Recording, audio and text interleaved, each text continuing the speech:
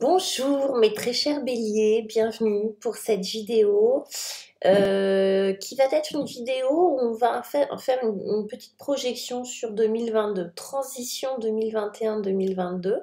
La transition elle va être importante euh, cette année au niveau des énergies 2021-2022, donc euh, histoire de bien accompagner cette période-là, fin décembre et, le mois de janvier, et puis une petite une petite projection sur les mois à venir avec l'horoscope Béline euh, des six mois à venir.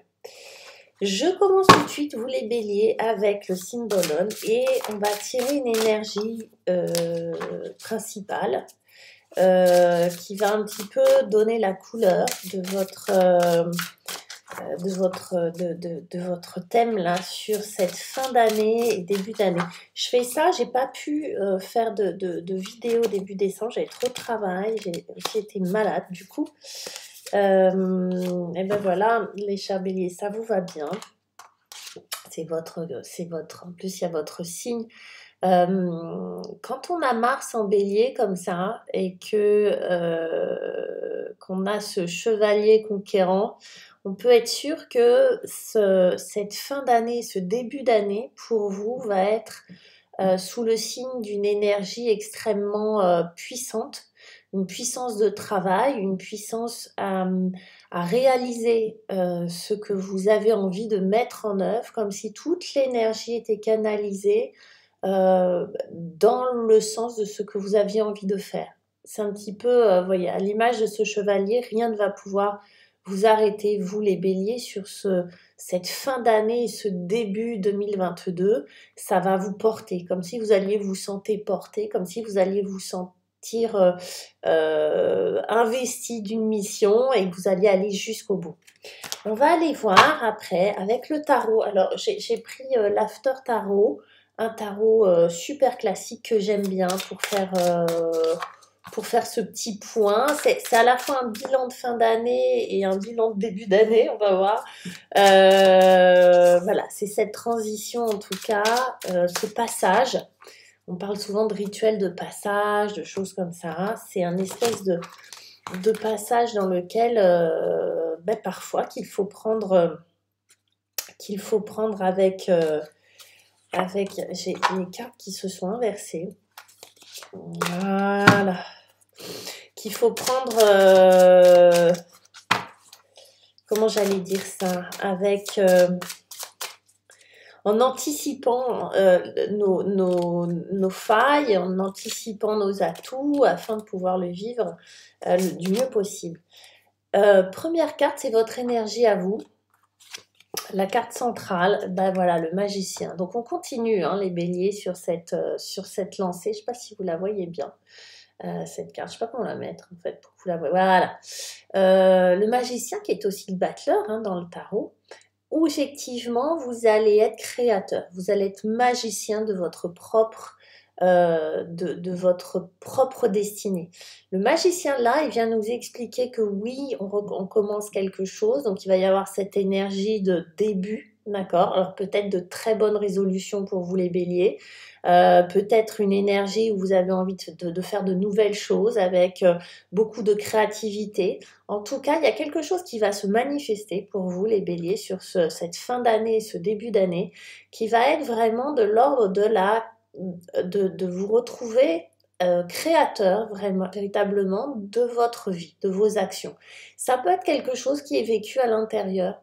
C'est pas forcément quelque chose, un nouveau job, euh, mais ça peut, hein, une nouvelle activité, euh, je commence à faire du sport, ça peut être des choses très comme ça, concrètes, très basiques, mais ça peut être quelque chose que vous vivez de manière intime, comme si euh, vous saviez, vous aviez l'intime conviction que cette année sera différente, que cette fin d'année, ce début d'année sera vraiment différente pour vous et que ça va se manifester dans la matière. Il est possible que même que vous ayez de la chance, les chers béliers.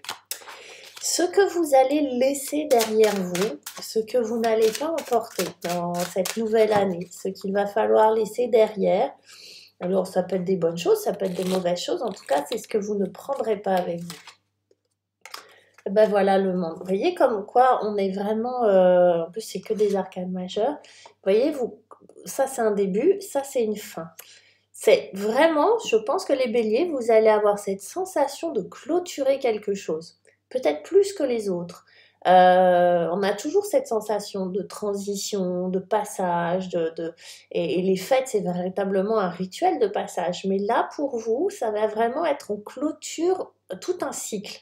Et peut-être un cycle qui a duré deux, deux ans. Vous voyez, quelque chose qui a peut-être a été... Euh, ça y est, vous avez fait le tour de la question. Alors, ça peut être une relation, ça peut être un job, ça peut être... Euh, euh, une activité XY, ça peut être une habitude. Euh, je vous dis, ça peut être quelque chose à l'intérieur de vous et c'est difficile à définir, mais vous sentez que ça y est, on passe à autre chose, on ouvre un autre chapitre. Donc vous laissez derrière vous, bah voilà, vous clôturez quelque chose très général, hein, mais c'est euh, très significatif en tout cas. Euh, vers quoi vous allez, enfin, vers quoi vous voulez aller, vous, mes chers béliers, ce qui va vous aider, ce qui va vous porter, vous êtes vernis, vous, hein, euh, dans le genre. Je pense que vous êtes porté, c'est le 9 de coupe. Euh, le 9 de coupe nous parle de vos rêves, de vos voeux. Alors, ok, on a le magicien qui va réaliser, l'énergie du magicien qui va réaliser vos voeux peu importe. Alors là, on est vraiment dans l'affect avec les couples. On est vraiment dans le dans l'émotionnel. Hein. Donc, ce qui vous fait plaisir, ce qui va vraiment vous combler, vous allez travailler pour. Vous allez manifester. Vous allez semer vraiment toutes les graines. Vous allez vraiment à faire et les contacts et les actions qu'il faut pour accéder à vos, à vos vœux, à vos rêves. Si votre rêve sur 2022, c'est, euh, je dis n'importe quoi, de rencontrer l'âme sœur, bah bingo. Si c'est euh, euh, de d'acheter une maison, bingo, etc., etc. Ça peut être des choses très concrètes comme ça. Comme encore une fois, ça peut être un, un développement personnel, vous libérer de quelque chose, être zen toute l'année 2022, etc., etc. Vivre en harmonie, être aligné, etc. Vous, vous demandez ce que vous voulez, a priori, vous serez exaucé. Et en plus, vous avez véritablement l'énergie pour, euh, pour entamer cette année-là de la meilleure façon qui soit. Euh, ce qui va vous aider, ce sur quoi vous allez pouvoir vous appuyer sur ce début d'année. Rien que ça. Vous, franchement, je ne sais pas ce qui se passe, mais c'est waouh. On a la reine de bâton sur l'immense confiance que vous pouvez vous faire.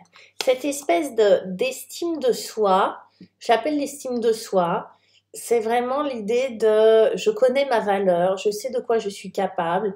Et la reine de bâton, elle, vient vraiment nous, nous appuyer là-dessus, appuyer sur le fait que vous pouvez vous faire confiance. Vous savez là où vous êtes bon, vous savez quel est votre potentiel, vous savez ce que vous voulez, vous savez, en fait, vous savez avec ce bâton ce qui vous fait vibrer.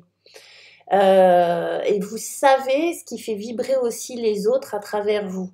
Donc vous êtes euh, comme si vous maîtrisiez un petit peu euh, le domaine de la confiance, on va dire, mais vous êtes vraiment dans, dans l'idée, vous avez vraiment cette confiance et vous pouvez vous appuyer dessus. Vous avez confiance en qui vous êtes et ce que vous, ce que vous valez. Mais cette énergie, elle est incroyable. Là vers quoi vous allez du coup? Voilà. Où est-ce que ça va vous mener tout ça? Bah, au 4 d'épée. Alors comme ça, elle est moins flamboyante cette carte-là, mais elle est vachement bien parce que le 4 d'épée, c'est euh, le repos, c'est la paix, c'est ce qu'on souhaite à tout le monde finalement. Euh, du coup, tout ça va vous amener une grande paix intérieure. Vous voyez, je vous parlais d'intériorité, de choses comme ça. Le, le 4 d'épée va nous parler de tranquillité d'esprit va nous parler de capacité à, être vraiment dans quelque chose de, très apaisé, de très sécurisant à l'intérieur de soi. C'est-à-dire que là, on a beaucoup, beaucoup, beaucoup d'actions, on a beaucoup de, d'énergie conquérante, de, passage à l'action, de, passion, d'accord, dans, votre jeu. Euh, et ça va vous amener à une espèce de tranquillité d'esprit. Peut-être il faut passer par euh, tout ce tumulte, toute cette vigueur, toute cette passion-là, pour arriver à vraiment vous sentir bien, vous sentir zen, vous sentir euh, tranquille intérieurement. C'est beau les béliers. Et avec l'horoscope Béline, on va... Oui, je l'ai retiré. On va regarder mois par mois ce que l'oracle, enfin l'horoscope Béline nous propose pour le mois de janvier. Qu'est-ce que l'horoscope Béline nous propose pour le mois de janvier? On a la carte de la négociation. Possiblement, euh, vu ce qu'on a, vous êtes pour certains en pleine action, en plein... Euh, euh, peut-être pour certains, vous montez votre boîte, vous devenez indépendant, etc. Ou vous changez de travail, ou vous avez envie de, changer de maison, etc. En tout cas, vous allez avoir cette carte, la négociation qui est propice du coup à l'échange à la réciprocité, à la négociation de quelque chose. On est dans du très concret. Donc, euh, favorable pour vous sur le mois de janvier au niveau de la négociation. Sur le mois de février, qu'est-ce qu'on nous propose sur le mois de février? On a la déchéance. On va pas avoir peur, on va en retirer une autre. Euh, la déchéance, pour moi, je la vois pas comme. Euh, alors, elle est très forte. Hein, c'est, en plus, c'est des vieux symboles. Il faut pas les, faut pas les prendre au pied de la lettre. Là, on nous parle de de perte, d'accord? On va nous parler de choses qui euh, qui s'en vont de choses qui se, qui se détruisent. En fait, on a un petit peu comme, la, mort représente la transformation, on a la, déchéance qui va nous parler de, euh, choses qui se terminent. Euh, il est possible que euh, pour vous, sur ce mois de février, il y ait des fins de quelque chose. Que vous deviez laisser derrière quelque chose. Ah, donc là, on nous présente une ruine. Bon, euh, il y a quelque chose sur, le février, sur février où bah, peut-être bah, il n'y a pas que du tout rose hein, non plus, mais ce n'est pas forcément négatif d'ailleurs, mais c'est quelque chose qui euh, arrive à son terme, on va dire ça comme ça. Pour le mois de mars, qu'est-ce qu'on a pour vous les béliers sur le mois de mars annoncé avec le Béline, voyez, et on a de nouveau la célébrité. Donc peut-être que sur ce mois de février, effectivement, il y a un petit creux de la vague. En tout cas, sur Mars, de nouveau, les trompettes de la célébrité, comme si vous pouviez euh, claironner quelque chose. Peut-être que sur ce mois de mars, il va y avoir un aboutissement de quelque chose où vous allez pouvoir effectivement prendre vos trompettes et puis euh, claironner un succès. En tout cas, il y a le succès à la clé sur le mois de mars, visiblement c'est marqué. Pour le mois d'avril, pour le mois d'avril, les béliers, et elle a sauté la justice. Alors, euh, des signatures possibles, des décisions possibles. Euh, il peut y avoir même des divorces hein, qui se concluent et, qui se signent, etc. Et ça peut être vraiment un nouveau départ, une fin de quelque chose.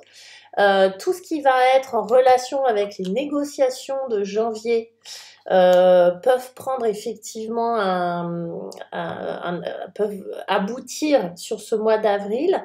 En tout cas, plus globalement, va être un équilibre on va atteindre une espèce d'équilibre, de, vitesse de croisière, de quelque chose qui va vraiment s'équilibrer dans les énergies, dans les forces, et en même temps concrètement parlant. Alors, il peut y avoir des choses administratives hein, pour vous sur le mois d'avril, mais quand je vous parlais de tranquillité d'esprit, de calme, d'harmonie, d'alignement, etc., avec la justice, on est en plein dedans.